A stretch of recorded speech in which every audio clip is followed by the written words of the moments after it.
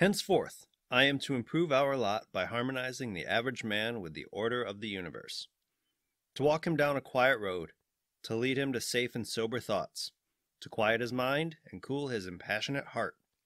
Be he God fearing or godless, this new order will encompass all and seek to improve man by aligning his needs with the ebb and flow of nature itself. This is my hope. This is my vow. King Alfred, circa 878.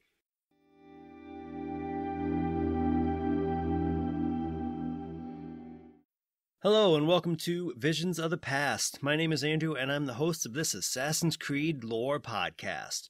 This is episode 66, and today we're going to talk about the historic king of the Anglo Saxons, Alfred the Great. King Alfred is one of numerous historical characters within Assassin's Creed Valhalla, and because of this, we have two aspects of this person to look at a historical one and one that we see of him within Assassin's Creed. Historically, Alfred was born in either 848 or 849 to King Aethelwulf and his wife Osburh. As the youngest of six, with four older brothers, he was not expected to become king. He did go to Rome for the first time in 853, and then again the following year with his father, where they also spent time at the court of Charles the Bald, king of the Franks, returning in 856. Alfred's public life began in 865 when his brother Ethelred became king at the age of 18. This was when Alfred was given the title of Secundarius and recognized as his brother's successor. In 868, Alfred married Ealhswith, daughter of a Mercian noble, and the pair went on to have five children.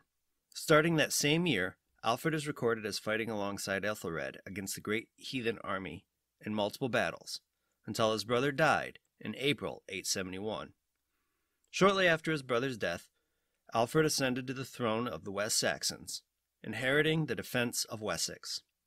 While Alfred was busy with the burial of his brother, the Saxon army was defeated in an unnamed spot, and again at Wilton in May while he was with the army.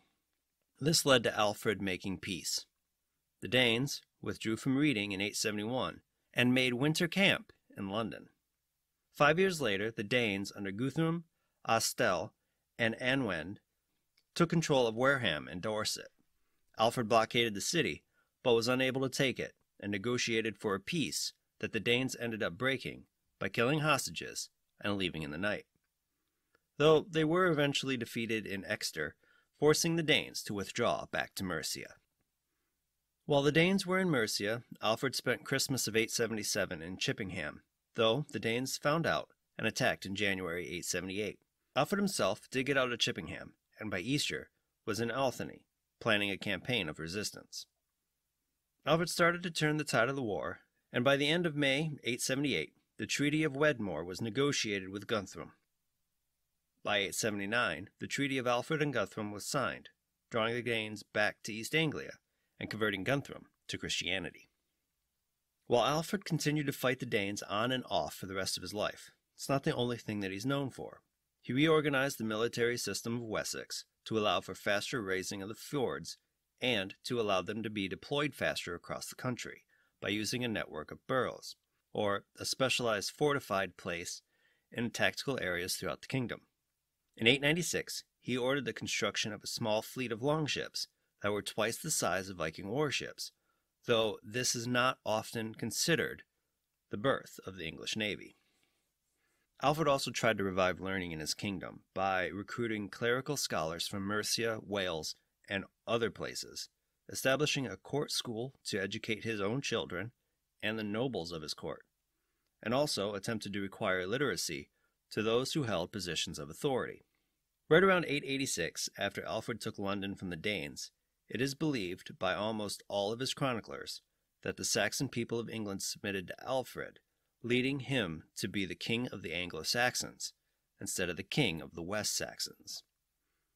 Alfred held the title of king of the Anglo Saxons until his death on October 26, 899, at the age of either 50 or 51.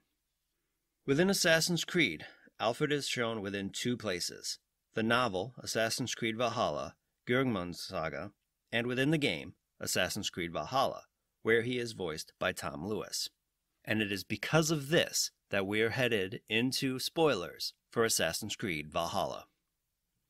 While a lot of Alfred's life within Assassin's Creed is the same as the historic counterpart, there are some differences, but for the most part, what we already know is expanded on. For instance, we know that in one of his early trips to Rome, he was blessed by Pope Leo IV himself. The Pope recounted his victory against Saracen pirates at the Battle of Ostia in 849. This account made a lasting impression on Alfred, who, as the youngest child of King Aethelwulf and his fifth son, had little expectations of becoming king. So Alfred devoted himself to learning and other scholarly pursuits. When the Vikings started to raid Wessex, Alfred went to battle with his brother King Ethelred, proving himself a capable commander, winning the battles of Reading and Ashdown, though he did receive a devastating loss at the Battle of Wilton. After Ethelred died from wounds he sustained during the Battle of Merton, late in April 871, Alfred not only became the King of Wessex, he also became the Grand Magister of the Order of the Ancients. While his brother and father before him ran the order from a place of agreement, Alfred did not agree with the order's ideals and beliefs, believing them to be sacrilege to the one true God. Because of this, he started to devise a plan to rid England of the order. In this plan, Alfred posed as a spy with the code name Poor Fellow Soldier of Christ and recruited the Reeve of Winchester, a man named Goodwin, as a personal informant and used the study in the Old Minster as a base. Right around 873, Alfred responded to a request of reinforcements from Lady Eadwine of Mercia, arriving to Cinebell Castle after she was killed. The arrival of his army forced the attackers, led by Sigurd Styrbjorn's son and Eivor Varin's daughter, into a parley. During this parley, Sigurd put forth the exchanging of each army's best warriors to prove peace between the two and to ensure both armies retreated from the area.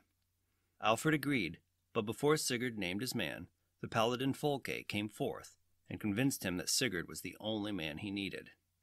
After some squabbling between the two groups, they agreed to the terms and Sigurd was put into Fulke's care. Over the next four years, Alfred sent letters under the guise of the poor fellow soldier of Christ that led Eivor to remove the order's influence within the cities of London and Jorvik, and watched as she not only removed the order from those cities, but from England as a whole, and in 877 met with Eivor herself in the Old Minster. During this meeting, Alfred feigned ignorance about the order, and after learning of Fulke's death at the hands of Eivor, he handed her a letter that he wrote as the good fellow soldier of Christ. Within the letter, it was explained that Alfred's life was threatened by three other members of the order. Alfred offered Eivor all the silver that she could carry if she removed them from Winchester, and set her to meet Goodwin, though he had disappeared, trying to keep these members of the order away from Alfred. After the death of Hilda, known within the order as the Quill, Alfred gave a speech at Witton Hall about the next bishop of Winchester. During the speech, Eivor assassinated Alfred, known within the order as the Sakes. After Eivor saved his life, Alfred met her at the Old Minster and had Goodwin present her with a silver cross, and then told her to convert to Christianity and live in peace, or die as a pagan. After she refused, Alfred left the minster and put the city on alert. Alfred continued to fight the Vikings, but after taking the loss at the Battle of Chippenham in January 878, which saw the death of Goodwin, Alfred went into exile. Living as a commoner in the village of Athelney, Alfred wrote a letter as the good fellow soldier of Christ, inviting Eivor to the village to discuss the status of the Grand Magister of the Order of the Ancients. When Eivor arrived, Alfred was nowhere to be seen, but after resting under a tree, found Alfred making soul cakes. The pair spoke about no one in the village knowing that he was king, and Eivor put together that Alfred was the good fellow soldier of Christ himself. Alfred didn't comment on this role, but asked her to take a walk with him and discuss the war that was going on, with Eivor stating that it was over. Alfred corrected her, stating that she had just stopped fighting, and others were brewing more plots. The pair continued to speak more about how Alfred feels about living as a commoner, with Alfred stating that he thought it was a blessed life. As Eivor started to grow short with the conversation, she demanded to learn who the Grand Magister was. Alfred admitted to her that it was him, and that it was a title he didn't want. Giving her his order medallion, he told her how he felt about the order and their views, and gave her the key to his study so she could understand why he did what he did, and that now that the order was all but destroyed, there was room for a greater idea to take its place. That a universal order inspired by God for the betterment of man could rise. Just before Alfred was yelled at for burning the soul cakes, he told Eivor that she had saved England, and though she believed that England was no more, he was sure that in time those who accept God will flourish, while all others will fall away and that if she is to stay in England, she would one day be her subject. While it is possible we see Alfred within the DLCs of Assassin's Creed Valhalla, I find it unlikely, as they're to be set in Ireland and France. Though it is possible that we get a letter or mention from him to lead her to these places, as they are mentioned within Valhalla as having members of the Order of the Ancients within them. While Alfred is an important character within Assassin's Creed for being the Grand Magister of the Order of the Ancients and for organizing its downfall from within, there are some letters in his possession and some other things that he says that have larger implications within the lore of the series. After he gives Eivor the key to his study, she finds a letter from Alcuin, a leading scholar in the court of Charlemagne, to Charlemagne himself, the Holy Roman Emperor, dated May 10, 804. This letter implies that the Order of Ancients know more about the Isu and their ways at this time than almost anyone we've met in the modern day. Add to this Alfred's commentary on the letter. It seems to me that Charlemagne himself could be a member of the Order of the Ancients at this time, if not the Grand Magister himself. Alfred's commentary mentions that the title of the Grand Magister should have went to King Elia of Northumbria when his father King Aethelwulf passed but because King Elia was already dead, fell to his brother and then to him. Without reading this part of the letter, you assume from the dialogue that the Grand Magister is a title that was passed down alongside the crown of Wessex. But adding this idea that Elia was meant to take the position, it brings into question exactly how the leaders were chosen, a question I can't even begin to speculate on. Another interesting point within Alfred's commentary is the mention of the Father of Understanding, the Mother of Wisdom, and the sacred voice of the Isu, and Alfred believing that they are blasphemies, and that there is only the Father of Understanding, and that he is the Lord above, and that he is order incarnate. Add to this the things he says to Eivor about there being room for a greater idea to take the place of the Order of the Ancients, it all hints to King Alfred having a hand in starting the Templar Order that we know today. Historically, the Knights Templar were formed almost 250 years after we last see King Alfred, and were also known as the good fellow soldiers of Christ and of the Temple of Solomon.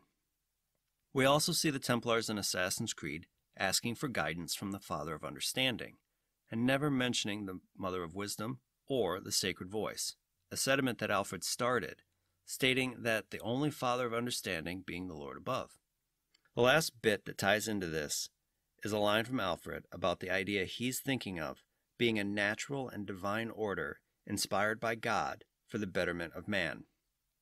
To me, this sounds like something that over time could have been twisted to be used by the Templars to guide them to build their New World Order, and why by the time of the first Assassin's Creed game, it still sounds like the Templars are looking for the same thing as the Assassins, even if they go about gaining peace in a way the Assassins would not do. Throughout Alfred's life, all he wanted to do was serve God, and when he became Grand Magister, he hated the order that he was a part of, choosing to tear it down and building something new that didn't idolize what he felt was blasphemy. What do you think of Alfred and the letters in his study? Let me know in the comments below on Twitter, or in a podcast review. Thank you for joining me today. Be sure to tune in every Tuesday for new episodes. If you love the Visions of the Past podcast, please subscribe and share this podcast with others. If you have any questions about Assassin's Creed or topics that you'd like me to cover, please feel free to hit me up on Twitter and Instagram at visions underscore AC, and you can find those links in the show notes below. Until next time, my assassin friends, make sure to follow the creed. And to those Templars listening, May the Father of Understanding guide you.